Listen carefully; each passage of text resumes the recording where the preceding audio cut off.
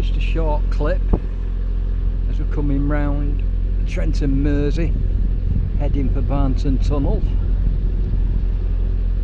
It's uh, what I've noticed is because of the lack of use of the canal system everything is massively overgrown. So it's uh, it's quite interesting actually. It's like cruising through the bloody Amazon.